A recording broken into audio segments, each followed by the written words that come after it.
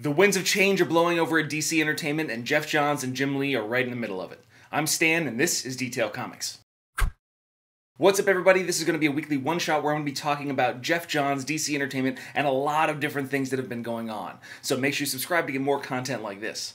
The one thing that I want to talk about right now is Geoff Johns and his recent departure from DC Entertainment. So it was announced on Monday that Geoff Johns is going to be stepping down from his role as Chief Creative Officer and President or co president of DC Entertainment. And this is just a week or two weeks after Diane Nelson stepped down from her co president position at DC Entertainment as well. So a lot of people inside Hollywood and the industry are thinking that this is just kind of a mass exodus or firing, a restructuring of the guard, especially after Walter Hamada took over the movie division of Warner Brothers associated with DC Films. So it's one of those things where we've got to take a look at exactly what's going on, but first let's dive into exactly what Geoff Johns is known for inside the industry.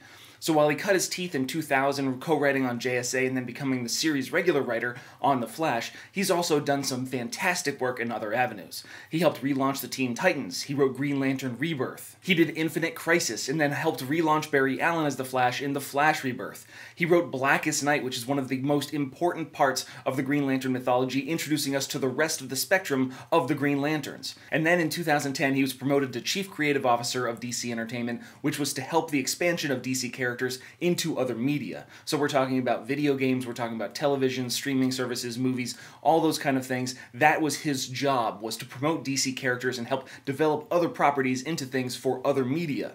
And then he also wrote Flashpoint, which helped redefine the entire DC universe for better or worse, because Flashpoint was used as the jumping off point for the new 52, where he also helped relaunch the Justice League, Aquaman, and a few other things as well. This brings us to 2016 when he was promoted to co-president with Diane Nelson of DC Entertainment, and he started to serve as executive producer on movies like Batman vs. Superman, and he helped to develop the DC CW universe. So he wrote a few episodes for Arrow, helped co develop the Flash series, and that leads us into the new DC Universe streaming service, where we're going to be seeing Geoff Johns writing and executive producing on Titans, the TV show, as well as the Doom Patrol series. He wrote the episode for Doom Patrol inside the Titans show that is going to cause it to spin off into its own 13 part miniseries. Of course, in comics, we still know him as one of the architects behind DC Rebirth, which is one of the single biggest and most successful initiatives inside comics recently in terms of relaunching and restructuring an entire line and giving it one solid focus, which is also keystone by the other comic book he's writing right now,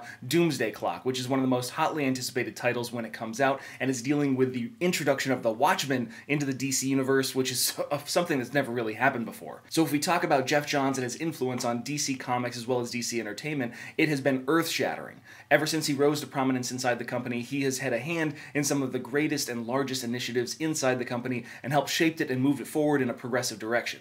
However, because of the productions of Batman vs. Superman, Dawn of Justice, as well as Justice League failing to meet the expectations of the studio, it seems like a lot of people are thinking that headhunters were coming in to kind of clean house and start a brand new direction as far as DC Films goes, and that just happened to include Geoff Johns. However, what we do know is that he left to start his own production company, Mad Ghost Productions, which is going to focus on development of film and TV properties and to help him serve as an executive producer, writer, and other aspects of the actual film and production. So, inside the report from the Hollywood Reporter, we actually see them quote Johns as saying he wanted to step down from his executive position so that that way he could get back into the creative aspects of what he loves doing, which is writing, producing, being on set, and taking care of the projects and shepherding them through the system. Of course, some other people inside the industry might think that this is some sort of golden parachute that DC's giving him so that that way that he can go away quietly and then fade off into existence someplace else. But it seems like he's really happy with the decision, so I wish him the best as far as that's concerned. However, what that leaves us with is a really big gaping hole in the DC structure. So without a president, Jim Lee steps up as chief creative officer and then continues to be publisher with Dan DiDio. No longer co-publishers, they're just publishers of DC Comics. And this is going to kind of change the way that the structure is moving forward. And when we see the increased influence of writers like Scott Snyder on the direction of Justice League, as well as a number of properties that are associated with that, the introduction of Brian Michael Bendis, who helped shape a lot of the early Marvel constructs when it came to the Marvel Cinematic Universe, as well as the Marvel streaming service, you can see where this thing's kind of going.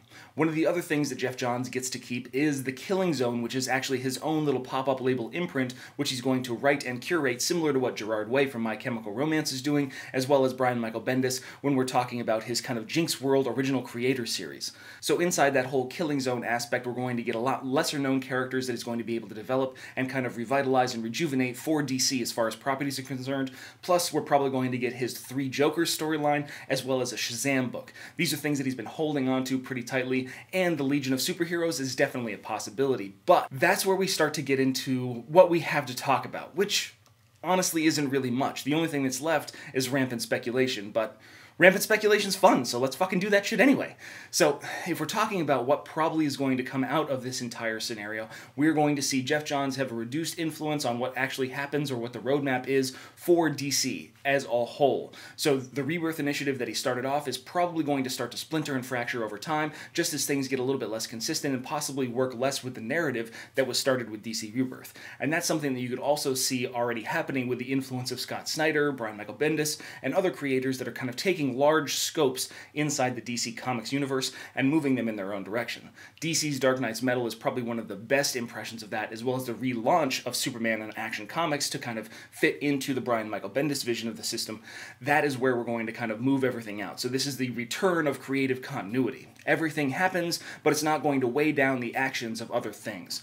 So it's kind of a mumbo jumbo at this point in time. And I've seen some people in the comments say that the only way that DC is going to be able to survive this is some sort of other crisis, which has happened before, so I'm not really super concerned about that, but hopefully they can keep it together with a strong editorial team. And the other thing we might see is a little bit stronger influence from a lot of creators inside the DC Comics world on things like DC Films, DC Streaming, DC Television, say like Scott Snyder or Brian Michael Bendis, who have a considerable amount of influence inside DC Comics, possibly picking up writing and producing credits on these other kind of series as they expand their realm of influence.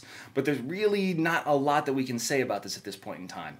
It seems like we're going to see see a shift from what we know as DC for the last two years, post New 52, going into DC Rebirth, into what is now this kind of post Geoff Johns realm. He's still going to be on there. He's still going to be, you know, writing his Shazam story. He's probably going to lose control of a few other things. It's just that when you're not the chief executive officer and the president of DC Comics, you can't necessarily hold properties for yourself. So he's probably going to continue to operate on Doomsday Clock. He's probably going to get his Shazam series, but you might see like Legion of Superheroes and some other things that he was holding on to, making their way over to other other creators. But it's really going to be kind of interesting to see how big the shift is going to be from what we know DC to be over the last two years post New 52 to what DC is going to become over the next 12 months. As the creators that come on, like Brian Michael Bendis and Scott Snyder in a more consulting kind of role for the overall DC universe, exercise their influence and possibly move it in a different direction. Is it a good thing? Is it a bad thing? I don't necessarily know, but I want to know what you guys think too, so hit me up in the comments down below and we can start that conversation. As always, if you like what you see, hit the like button. Don't forget to subscribe to get more news, reviews, and commentary on comic books, comic book movies, comic book TV shows and games, and anything and everything inside the world of comics.